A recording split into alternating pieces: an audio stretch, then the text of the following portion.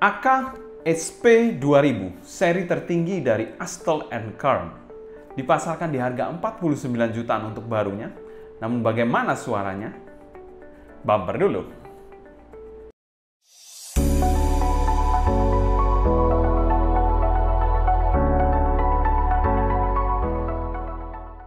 Halo semua, selamat datang di channel Sound Dignity bersama dengan saya Sebastian yang seperti biasa akan sharing info dan racun mengenai dunia personal audio, baik itu audio portable ataupun desktop audio. Jadi kalau kalian tertarik, gak perlu lagi untuk subscribe, nyalakan tombol notifikasi serta follow juga Instagram kita di Sound Dignity agar kalian tidak ketinggalan update-update terbaru mengenai dunia audio portable dan desktop audio. Digital audio player atau DAP yang kita akan bahas kali ini adalah DAP yang sangat spesial pakai telur. Salah satu brand dari Korea yang kalian sudah tidak asing lagi yaitu brand Astel Kern. Kita sempat membahas salah satu line up dari line up Futura yaitu SE200 yang memiliki dual deck chip Kali ini di depan kita ada top of the line dari line up Ultima yaitu SP2000. Perusahaan Astelenkan sendiri seperti yang kita tahu adalah perusahaan yang memposisikan produk mereka sebagai produk yang premium. Jadi kalau kalian ingin mengakuisisi produk Astelenkan tentunya harus merogoh kocek cukup dalam untuk dapat mengakuisisi produk Astelenkan ini. Karena memang harganya ini di atas rata-rata harga pasaran digital audio player ataupun player-player ataupun in-ear monitor sekalipun dari Astel Carl. Untuk harga sendiri, SP2000 ini dipasarkan di harga yang sangat premium yaitu 3.499 US dollar atau mungkin sekitar 4950 jutaan lah kalau dirupiahkan. SP2000 sendiri menggunakan dual deck chip AK4499EQ yang terkenal support power dan power consuming Memang kalau kita tahu uh, eh, DX300 di sini sudah menggunakan 4 deck chip, tapi bukan berarti SP2000 ini ketinggalan zaman walaupun cuma menggunakan 2 deck chip. Tapi deck chip yang digunakan adalah deck chip yang super power banget. Jadi dua belum tentu bisa kalah dari 4 deck chip DX300 tentunya. Analoginya seperti dua gajah dari AKSP2000 dilawankan dengan empat unta dari DX300. Jadi semacam analogi seperti itulah. Jadi belum tentu dua kalah dari empat.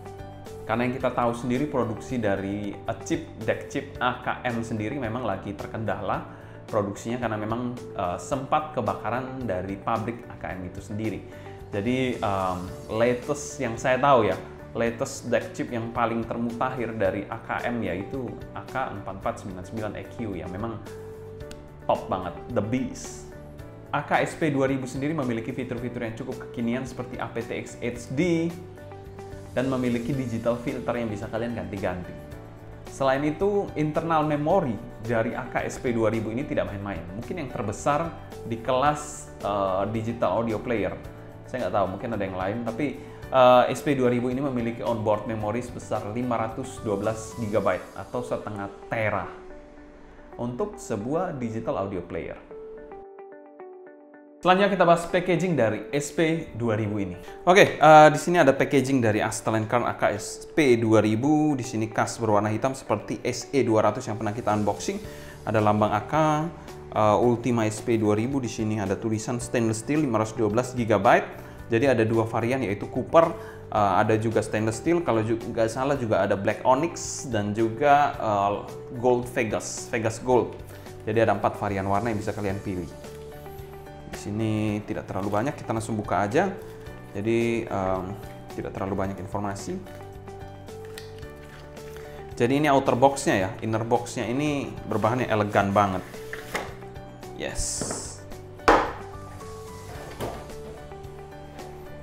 Kayu yang somehow very very authentic. Kita lihat di sini, di sini ada uh, leather case. Kita akan lihat aja leather case.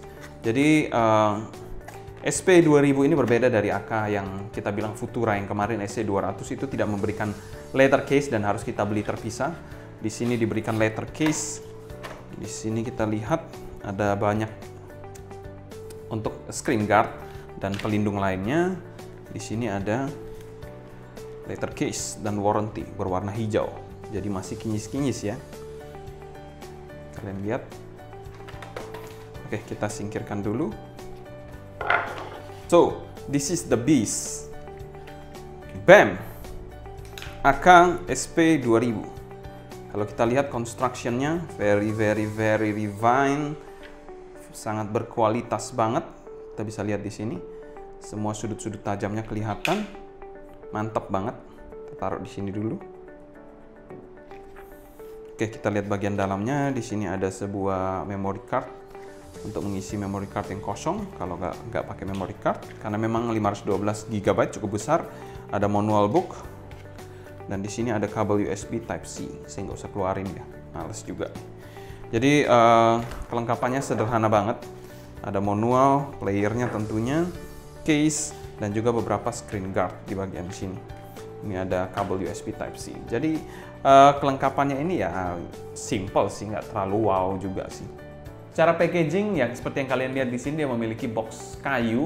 Di itu di situ ada box hitam itu adalah outer boxnya, di sini dalam boxnya adalah box kayu yang somehow juga sangat menarik tentunya. Dan di dalamnya ini juga diberikan letter case. Jadi letter case ini ada letter case uh, third party dari Dignis, di mana di dalamnya ini ada letter case berwarna hijau. Dan untuk packaging kelas harga mungkin 50 jutaan kami berikan skor B-. Ya at least dia memiliki kotak kayu dan juga case. Itu yang membedakannya dengan line up Futura yang sempat kita review. Dia tidak memberikan case sama sekali dan packagingnya biasa aja, walaupun harganya bisa dikategorikan premium dan lebih mahal dari DX300. Selanjutnya kita bahas build quality dari AKSP 2000 ini. Selanjutnya kita bahas build quality dari AKSP 2000 ini. Hal pertama yang ternotis kalau kalian megang DAP ini yaitu ini berat banget sih. SP2000 memiliki build yang mantap banget dan kokoh banget build material AK ini memang numero uno kalau saya bilang the best uh, di dunia audio portable untuk DAP lah. Tidak pernah mengecewakan baik dari SP2000 ataupun SE200 sekalipun. Kalau SE200 kemarin bahannya aluminium, ini bahannya adalah stainless steel yang memang jauh lebih berat dibandingkan SE200 kemarin. Dengan gaya-gaya sudut-sudut tajam kalau kalian lihat di sini, sudut-sudutnya tajam, khas uh, industrial yang futuristik banget. Dan juga perlu hati-hati untuk merawatnya karena memang sudut-sudut tajamnya ini gampang den jadi kalau kalian nggak pakai case saya sarankan sih jangan mending pakai case karena memang kalau terbentuk terbentur sorry uh, akan langsung den. Kalau kita lihat bagian panel belakangnya di sini panel belakangnya panel dual tone. Kalian lihat di sini tidak ada skrup sama sekali very very refined. Di sini ada dual tone berwarna hitam dan di sini stainless steel. Tombol-tombolnya pun kalian lihat di sini ini volume wheelnya, clicky banget bunyinya dan juga berlaku sebagai tombol uh, on off. Di sini juga uh, ada tiga tombol play pause, previous dan next track. Aksennya sama seperti bahan dari housingnya ini stainless steel. Ini kita lihat di bagian atas ada dual jack yaitu uh, 3,5 dan 2,5 mm. Nggak ada 4,4 mm. Di bagian bawah ada USB Type-C dan juga MMC yang mendukung sampai 1 terabyte. Tapi yang sangat disayangkan ini adalah uh, DAP yang fingerprint magnet banget sih sebenarnya. Tapi no problem. Ini piece of art, really piece of art, very very elegant look. Dan kalau kalian commit bahwa DAP AK, wow. Untuk build quality AK SP2000 ini the best in the planet. Saya bilang ini yang terbaik di uh, seluruh dunia, di semua DAP yang pernah saya pegang, AK SP2000 ini adalah the best. The best build quality dan tentu saja kami berikan skor S untuk build quality dari AK SP2000. AK tentu saja tidak pernah mengecewakan untuk build quality-nya ya. Selanjutnya kita bahas user experience dari AK SP2000 ini. Kita di sini langsung pakai case aja karena insecure banget kalau nggak pakai case. Uh, jadi kita reviewnya selanjutnya pakai case. Di sini uh, eh, SP2000 ini merupakan pure depth yang tapi mendukung hal-hal modern seperti output 2,5 mm balance dan juga ada Bluetooth serta layar yang cukup memanjakan mata. UI dari AK sendiri memang uh, sesuatu sih kalau saya bilang sangat elegan dan simple banget. SP2000 ini memiliki UI yang mirip seperti SE200 yang pernah kita review sebelumnya. Hampir semua line up AK ini memiliki UI yang sama sih. Simple dan elegan somehow feel-nya. Memang kalau kita bilang uh, Astarian Car ini memang hanya fokus untuk mendengarkan musik aja. Jadi bukan open app Android seperti kita bilang uh, DX300 yang open app, open source sorry, open source Android ini adalah uh, heavily modded Android yang tidak bisa dimasuki uh, aplikasi sembarangan, hanya aplikasi-aplikasi uh, mendengarkan musik atau streaming musik tertentu aja yang bisa dimasukkan di Astel Card SP2000 ini.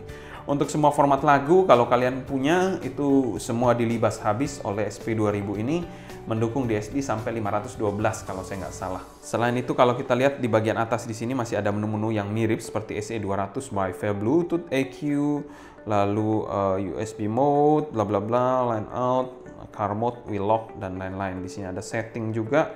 Lalu kalau kita slide ke atas, di situ adalah historik lagu-lagu yang pernah kalian dengarkan.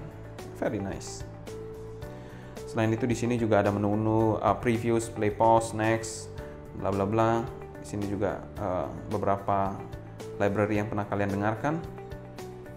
Ini beberapa lagu dari album itu kalian bisa pilih-pilih di sini. Dan ini adalah menu utamanya: songs, album, artis, genre, playlist, folder, favorit, MQS, CD library, service, dan setting. Service ini untuk beberapa aplikasi seperti uh, Spotify, Tidal dan lain-lain. Lalu kalau kita lihat di sini di bagian setting, ini settingnya ada uh, beberapa hal, equalizer, gapless, LR balance. Di sini cukup menarik. Lalu deck filter, kalian bisa pilih beberapa pilihan uh, filter. Screen brightness tidak terlalu uh, menarik juga sih sebenarnya kalau kita bilang settingnya biasa aja uh, ya hanya simple aja gini untuk pemakaian AK. Selain itu dia juga nggak mempunyai um, gain, jadi gain mode-nya nggak ada, dia cuma satu aja. Jadi satu aja kalian menggunakan uh, volumenya, tidak ada gain seperti di iBasso ada gain low, medium, dan high gain. Ini uh, di Astalin Kern ini tidak ada, jadi perlu kalian perhatikan juga hal-hal tersebut. Menurut saya tapi ini memang fokusnya memang untuk mendengarkan musik dan saya nggak ada masalah sih untuk UI seperti ini. Sekarang kita ke navigasi tombol sampingnya ini ada tiga tombol yang tadi kita lihat di build quality-nya, ada play, pause, next, dan previous track. Jadi kayak gitu-gitu aja sih, jadi pindah-pindah gitu. Di itu lalu volume wheel-nya ini juga responsif banget, ada bunyi klikinya. Di sini juga bisa kalian naik turunkan menggunakan tangan aja cukup user friendly sih kalau saya bilang. Untuk baterai sendiri akan mengklaim SP2000 ini bertahan 7 7 sampai 8 jam lah. Karena memang deck chip yang digunakan dari uh, eh, SP2000 ini adalah deck chip yang power consumption-nya cukup besar yaitu AK uh, 4499 EQ. Di sini juga kalau kita lihat di sini kalian bisa melihatkan uh, lagunya dari album lalu bitrate dan lain-lain Selain itu juga kalau ada lirik kalian bisa pencet di sini nanti akan keluar liriknya karena ini lagunya nggak ada lirik jadi nggak keluar. Uh, di sini juga bisa kalian tambahkan ke playlist kalau memang kalian mau. Um, so simple sih sebenarnya. Tidak terlalu membingungkan juga dan cukup responsif. Untuk uh, mematikan layar kalian pencet powernya ini. Di powernya ini dual function sebagai volume dan juga sebagai on off screen ataupun on off playernya. Secara user experience, AKSP 2000 ini tidak ribet dan mudah untuk digunakan kalau kalian memang pemula di dunia audio mungkin tidak akan kesulitan juga. Dia mirip-mirip seperti uh, UI dari Astel and Kern seri-seri lainnya juga, tidak terlalu ribet, only music player dan juga mudah untuk melakukan uh, navigasi dan juga mudah untuk melakukan perpindahan lagu dan lain-lain. Dan secara user experience kami berikan skor amin. Selanjutnya kita bahas tonalitas dari AKSP 2000. Secara tonalitas keseluruhan, AKSP 2000 ini memiliki arah suara yang netral, agak sedikit bright, tapi sedikit aja sih. Perlu diperhatikan juga uh, eh, DAP ini kalau bilang kita bilang in terms of power masih kalah dari DX300. Uh, SP2000 ini bukan sebuah powerhouse seperti uh, seri-seri Kan. Kan itu uh, tagline-nya powerhouse kalau SP2000 ini lebih ke arah untuk drive in-ear monitor ataupun headphone-headphone yang impedansinya kecil. Itu akan maksimal, tapi kalau kalian uh, drive planar headphone yang memang berat, mungkin akan kurang maksimal di SP2000 ini. Untuk bagian bassnya, bass dari SP2000 ini bisa dikategorikan sangat-sangat bertekstur, meaty, dan clean banget. Selain itu bassnya juga tight banget, tidak beleber ke mana-mana, terkontrol tight banget, dan sangat-sangat refine. tidak ada kolorasi yang berlebihan dari DAP1 ini untuk bagian bassnya.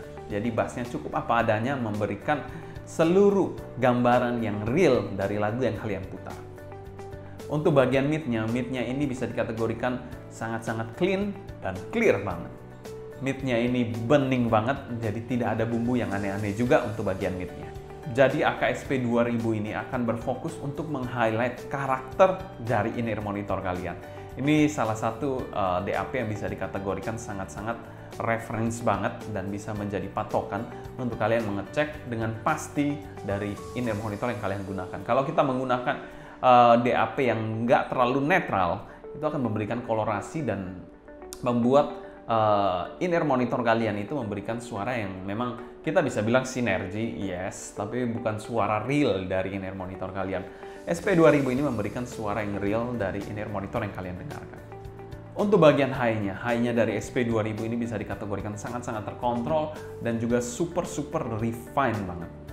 Dengan kesan penambahan detail dan airiness untuk setiap in-ear monitor yang kalian dengarkan. Selain itu juga memiliki ekstensi yang baik sehingga mendukung in-ear monitor kalian untuk mendapatkan ekstensi di bagian atas yang terbaik atau performa terbaik dari in-ear monitor kalian. Secara tonalitas SP2000 ini sudah tidak diragukan sebagai top of the line dari Astel Kern dan kami berikan skor S. Ini merupakan DAP yang memang tidak banyak bumbu, tidak banyak masking, apa adanya kepada in-ear monitor yang kalian dengarkan dan meng-highlight karakter dari in-ear monitor yang kalian dengarkan. Selanjutnya kita bahas teknikalitas dari SP2000. SP2000 adalah sebuah DAP yang bisa dikategorikan sangat wow. Untuk kalian yang mencari real sound, this is one of a kind digital audio player very transparan dan less kolorasi. Noise floor-nya ini juga sangat pekat banget dan rendah banget. Jadi tidak ada noise-noise yang mengganggu saat kalian mendengarkan in-ear monitor kalian. Tidak ada detail yang hilang ataupun terganggu sekalipun. Timbre yang dihasilkan pun sangatlah bisa dikategorikan sangat-sangat analog, effortless, everything is perfect. Mikro detailnya pun sangat-sangat baik, Selain itu, soundstage-nya juga memberikan kesan 3D yang bagus. Secara umum, teknikalitas dari DAP1 ini kami berikan skor S. Memang eh, DAP1 ini adalah DAP yang sangat unik. Dia memberikan suara yang apa adanya, less coloration. Selain itu juga kita bilang suaranya ini uh, transitions-nya very very effortless. Suaranya ini dieksekusi dengan analog banget. Jadi realistik lah suaranya. Oke, selanjutnya kita bahas cons dari SP2000 ini. Cons dari SP2000 yang pertama yaitu ini berat banget. Jadi bukan DAP yang ringan. Tapi kalau uh, untuk mobilitas mungkin masih bisa dibawa, tapi ini cukup berat. Jadi itu perlu kalian perhatikan. Selain itu yang kedua consnya yaitu mahal banget. Ini DAP yang nggak murah, mahal banget 3.500 dolar. Cons yang ketiga ini merupakan DAP yang baterainya ini bisa dikategorikan kalah dari DAP DAP zaman now baterainya hanya bertahan 7 sampai 8 jam dikarenakan uh, the beast deck chip yaitu AK4499EQ yang power consumption-nya ini sangat besar. Untuk pro-nya dari DAP1 ini build-nya ini build yang mantep banget walaupun berat tapi dia sangat elegan dan build quality-nya ini the best in the planet. Pro yang kedua, UI-nya ini sangat-sangat simple dan juga elegan. Kalian pemula, kalian menggunakan SP2000, gak ada masalah sama sekali. Pro yang ketiga, dia menggunakan dual deck yang somehow ini merupakan dual deck yang terbaik dari AKM yang saya tahu. AK4499EQ. Untuk value for money-nya dari AK SP2000 ini kami berikan skor amin dan masuk pada kategori good value. Karena kita bilang ya memang spending 50 juta bukan uang yang kecil, tapi kalau kalian mau end game, ini adalah DAP yang tepat untuk kalian. Oke, selanjutnya akan kita bandingkan DX300 merupakan top of the line dari Aibaso dan versus Kern SP2000 yang merupakan top of the line dari Kern. Kedua DAP ini memiliki kespesialan masing-masing. Uh, di sini dipasarkan di harga 49 juta 50 jutaan, kalau di sini 17 jutaan, 17 setengah kalau saya nggak salah lebih tepatnya. Uh, jadi di sini jauh lebih lebih murah dibandingkan SP2000 berkali-kali bahkan tiga kali ya dua dua hampir tiga kali lah dibandingkan SP2000. Lalu kita lihat di sini, uh, layarnya sudah ternotis, di sini sangat besar, di sini juga cukup bulky. Tapi untuk berat ini SP2000 juga nggak kalah berat dari DX300, walaupun di sini kita bilang uh, layarnya jauh lebih besar DX300. Tapi SP2000 ini memiliki bobot yang hampir mirip dengan uh, DX300 bahkan mungkin lebih berat karena materialnya ini the best. Kalau kita lihat layarnya sendiri sedikit lebih tajam di DX300 dibandingkan uh, SP2000 ini. Um, selain itu juga mereka sama-sama kenceng juga kalau untuk musik playernya, tapi saya belum mencoba untuk hal-hal yang terlalu khusus ya. Tapi overall untuk mendengarkan musik tidak ada masalah, volume wheel-nya juga sama-sama responsif semua. Tidak ada yang mengganggu, kliki juga, tapi serasa lebih loose di DX300 ini. Bukan lebih loose sih sebenarnya memang itu feel-nya. Feel-nya memang agak sedikit kurang gigit aja. Tapi overall responsif semua nggak ada masalah um, selain itu di DX 300 ini dia memiliki gain jadi low kita lihat di sini dia memiliki uh, gain low lalu ada uh, gain medium dan mid high jadi itu yang membedakan dengan uh, AK AK nggak punya gain di situ juga menjadi salah satu permasalahan. Uh, untuk jeroan, jeroan sendiri uh, SP2000 ini akan menggunakan dual deck chip AK4499EQ. Di sini uh, kalau nggak salah Cirrus Logic ada 4. Saya lupa serinya. Tapi bukan berarti jumlah deck chip makin banyak itu suaranya menjamin akan bisa mengalahkan AK.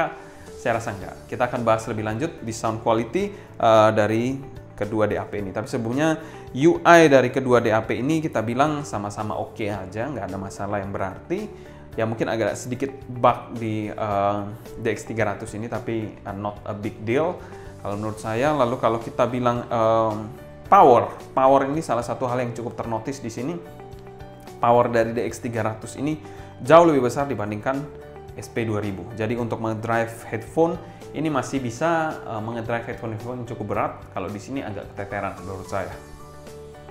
Jadi memang lebih spesialisasi di DX300 untuk ngedrive headphone-headphone yang berat.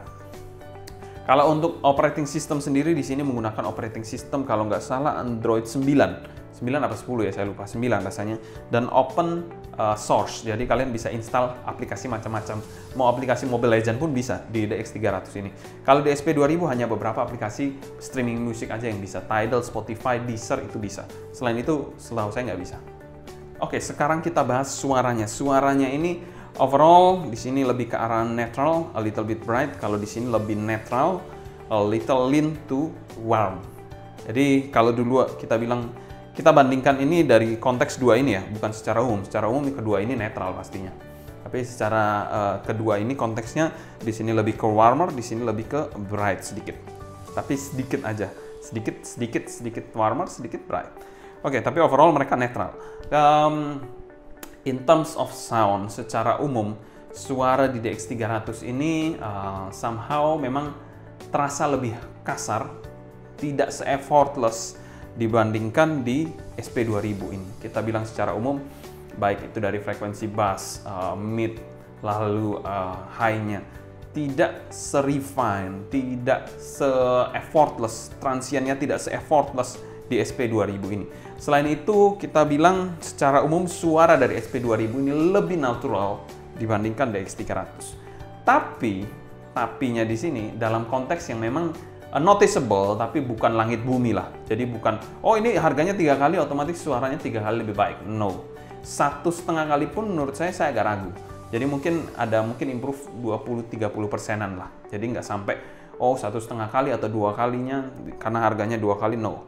Jadi ada refinement, transiennya lebih smooth, semuanya lebih better di SP2000 ini kalau menurut saya secara umum. Kalau untuk back background sendiri kedua DAP ini sudah black backgroundnya bisa dikategorikan S-Class semua, tapi menurut saya sedikit lebih black, sedikit sedikit lebih black di SP2000 ini. Ambience-ambience-nya itu serasa lebih keluar, lebih pop out. Entah itu memang tuningannya, entah itu deck chipnya, atau memang karena black backgroundnya. Black background tentunya akan mempengaruhi. Tapi yang memang wow banget secara secara ternoticeable di sini uh, transient yang effortless, Uh, lalu juga lebih natural di sini. Oh ya, satu hal, kalau dynamic uh, dinamikanya, dinamiknya, saya menurut saya sedikit lebih baik di DX300 ini. Dia mengeksekusi uh, beberapa lagu itu dengan lebih lepas. Jadi nggak uh, ada smoothing, nggak ada kontrolnya. Pokoknya dilepas aja, di boosting aja, sedikit di boosting di bass, sedikit di boosting di treble. Jadi dinamikanya sedasa lebih baik dibandingkan SP2000 ini. Tapi um, not in a big margin. Ya masih noticeable tapi tidak dalam konteks yang terlalu jauh. Kalau kita bilang timber, jelas timber SP2000 ini the best, timbernya very very analog. Kalian dengarkan lagu-lagu, semuanya sangat-sangat natural, sangat-sangat analog banget di SP2000 ini dibandingkan DX300. Tapi apakah DX300 kalah telak dari SP2000? Tentu saja enggak. SP2000 masih kalah dari DX300 dalam konteks UI, dalam konteks open uh, Android sistemnya. Selain itu yang ketiga, kita bilang dalam konteks baterai baterainya DX300 jauh lebih bertahan daripada SP2000 dan keempat yaitu adalah konektivitas. Konektivitasnya di sini cukup berbeda. DX300 memiliki tiga konektivitas, di sini hanya dua. Uh, dia nggak punya 4,4 mm. Sedangkan 4,4 mm merupakan sebuah requirement yang memang kita bilang uh, zaman sekarang adalah salah satu yang esensial sih untuk 4,4 mm. Jadi ya not really uh, SP2000 tidak 100% beat DX300 DX300 masih bisa perform outperform SP2000 dalam konteks UI dalam konteks baterai dalam konteks open source dalam konteks konektivitasnya. That's it. Tapi kalau in terms of suara kalian mau the best SP2000 is for you kesimpulan AK kalau kita bilang AK kalian sudah tahu lah saya nggak usah berpanjang lebar untuk kesimpulan ini semuanya akan terakakan pada waktunya. Kalau kalian ada pertanyaan mengenai SP2000 ini, kalian bisa tulis pertanyaan kalian di kolom komentar di bawah. Mungkin sekian dulu untuk video kali ini. Saya Sebastian dari Sound Dignity pamit undur diri. Sampai jumpa di video berikutnya. Happy listening, stay healthy, and ciao.